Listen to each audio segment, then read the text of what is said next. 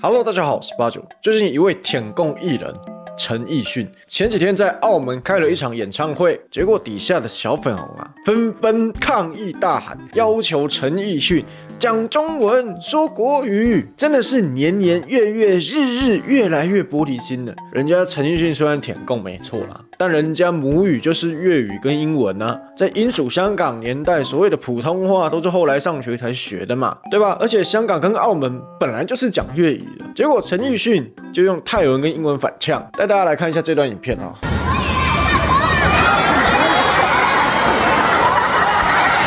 刚刚过吗？好。I love speaking whatever the way and language I want。你可以慢，可以说，麻烦你说国语比较好听一点啊。大哥，你讲国语。我不是不会讲国语，我可以讲国语，我可以说流利的可以。你可以要求，你唔该，请麻烦你。啊，唔該你，唔係噶，no no no，don't get me wrong，有人就講話 speak English，我都係，我 shut up，你聽唔明咪算咯。你们竟然被香港人教导什么叫做礼貌？你们小粉红到海外，然后就会跑去各个国家的店面，然后弄中文跟人家点餐，对吧？怪人家怎么不会说中文？咱们中国大国崛起人怎么不会说中文呢？对吧？这个影片我们都分享过非常多。即便今天是有所谓的欧美人甚至日本人到中国来，然后你还要求人家讲中文，因为这里是中国。我的天呐！我的天呐！反正怎么样都是中国要赢，就就是这样。而且人家唱的歌大部分就是粤语嘛，你去听人家演唱会，要人家讲所谓的普通话，他自己也说没关系。但你态你们态度非常不好，你们要是跟圣上抗议有这种态度就好了，对吧？你们最近不是在北京召开了一带一路会议吗？这个世界上最和平的两个人呢，圣上跟普丁啊见面了，对吧？结果开会周边的大马路全部都给封了。大片的武警跟守桥人都在防备，让一堆七早八早要上班的人啊，全部被堵在原地，让原本已经够塞的北京啊，又塞上加塞，现场又没有人敢抗议。你说还有什么比这个更欺三八二的民族？我们来看一下。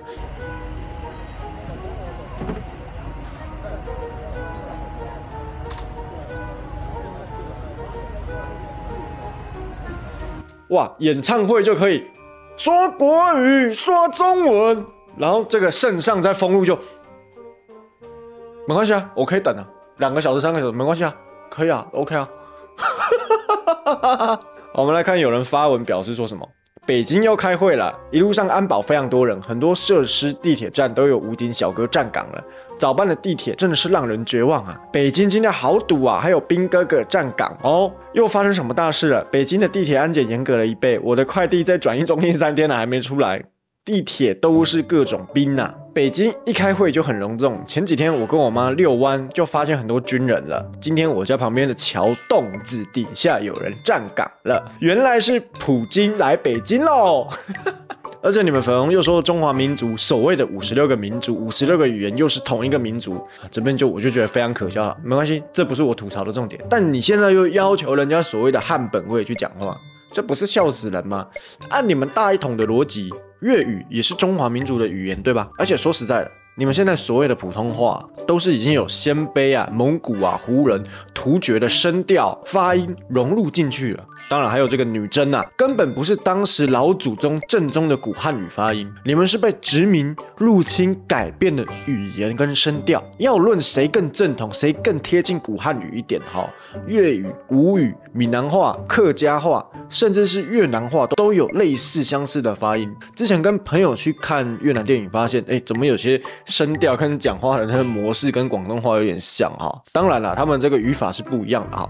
那我们说关系最远的越南好了，越南大家都知道以前也是写这个古汉字的嘛，对吧？而越南语更是保留了古汉语的入声，这个入声我们现在是没有了。而越南的古汉语是近代才废除的。当然了，每个地区的关系在时间久远后啊，语言都会往不同的方向跟声调去发展，这无可厚非啊。当然撇除掉越南话之外啊。粤语、吴语、闽南话、客家话，这才是没有被所谓的关外民族、关外的国家，什么胡人、鲜卑、女真、后金啊、蒙古啊、羌啊改变的语言体系。所以你要论正统哦，还是粤语比你现在所谓的普通话更更正统、更道地、更贴近你所谓的中华古代的民族多一些啊？你才在辱华嘞，怎么不废除你们的英文罗马拼音呢？这才是最大的辱华。你们竟然用英文西方的话去拼写这个简体汉字出来，但你们又离不开英文拼音，不然你们现在在手机、在电脑上给我用手写，对吧？不要给我弄什么乌偶我，你给我你给我直接写出来。当然，以上是基于道理论述方面，我所以我是支持陈奕迅的。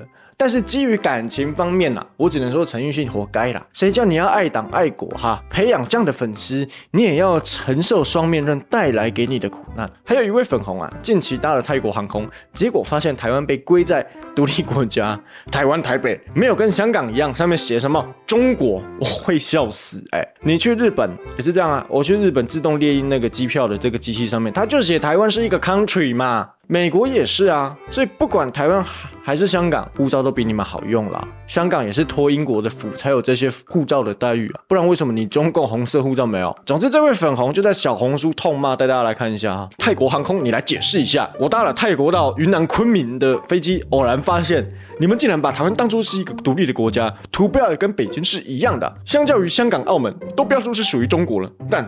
台湾不是你来台湾，我带你去台湾的行政机关上看是不是属于中华人民共和国的。好，看一下是不是五星红旗，看一下哈。一个中国是基本原则，他们不承认他们的，我们谴责我们的。一篇贴文改变不了什么，但以后看见会发生。可悲的是，有人拿着中国居民的身份证，却能表示理解这样的行为，甚至站在对面嘲讽，不要求你们做些什么，但至少不该做什么，心里有个数。下面被人家抢，你是个人矿租客，人家可是家里的主人，你要搞清楚你自己在生态链的哪一环。这河南的朋友真的是说的简洁扼要，两句话就道出，不仅这个粉红是个人矿之外，台湾也不是属于你的，你也没有主权，而且你自己在中国是什么地位，你自己搞不清楚吗？你以为你是赵家人吗？我们看到还有一个很搞笑的事情啊，有一个粉红在小红书上发说，哎，你看我让台湾人承认台湾是属于中国的一个省，原因是这样啊，台湾的消费者。由于不能用微信跟支付宝转账，要求中国的店家帮忙验货，然后这个中国店家就说：“OK 啊，你要我帮你验货是不是？那你说台湾是中国的一部分，只有一个中国，台湾是中国的一个省，他这个市还打错号，我就给你免费鉴定一次。结果这个台湾买家他就直接复制贴上，有没有？”打的是简体，他这个视也跟着打错，然后这个小粉红就说 OK 没问题，明天到货的时候我会帮你免费鉴定一次。结果没想到小红书上翻车了。不仅被台湾人骂，还被他们自己的中国同胞骂，说你怎么那么无聊啊？人家只是要贪你的免费鉴定而已。我是建议这位这个台湾消费者哈，如果你有看到我的影片的话，我建议你是这样哈，等到你收到货之后呢，对我就是要赚你免费帮我鉴定怎样，然后 po 一个维尼的照片，或是 po 一个八九六四天安门的照片给他。如果这样，我们跟舔共艺人有什么区别呢？所以还是拿到好处之后要反将他们一军呢，不然我们这样台湾人哈，迟早就是人善被人欺啦哈。而最近啊，美国人权基金会执行长哈佛森他公开表示哦，公开表示哦，他二零一零年呐，马英九执政时代的时候来过台湾演讲，结果马英九要求他们不准批判中共。还说出了你在台湾批判中共是不可被接受的。你去跟你们伟大的蒋经国跟蒋中正，你死之后去跟他们讲。结果哈佛生还是批判了中共，点出了中共迫害人人权的一些议题。于是马英九率众离席，还取消了哈佛生的住宿与行程待遇。这是什么国家元首的格局啊？这是什么风度啊？而且还是你们邀请哈佛生来台湾演讲，是你们国民党哎，然后又不准他谈论中共迫害人权的问题。那请问你邀请他来干嘛？邀请他来说哦，南美洲在迫害人权，北韩在迫害人权，非洲在迫害人权是吗？台湾旁边最大迫害人权的国家是什么？中华人民共和国。自四九年之后，我们的敌人也是他，因为他想并吞我们，事实嘛。而中共确实在迫害人权，所以你到底在想什么？难怪你们从二零零一年开始阻挡军购案六十九次，这样的政党我真的非常不能理解，为什么在台湾还有票？欧美国家政党对于内政都是有所不同的，跟我们台湾一样，我们对于内政发展价值观有天差地别的不同方向去做选择。